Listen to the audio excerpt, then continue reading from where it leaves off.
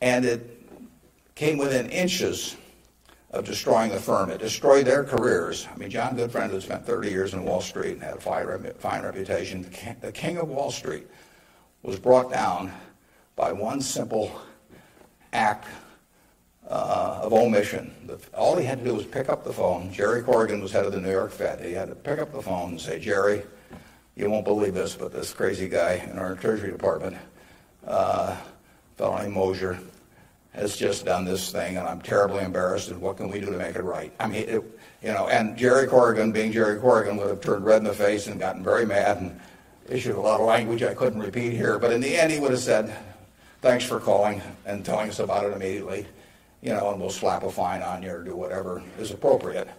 And the, and, and the next day, the firm would have gone on fine. But, but John Gutfreund, actually, you know, a, perfectly okay guy, but he just he didn't act when it counted. And Tommy Strauss, who was number two, the same way.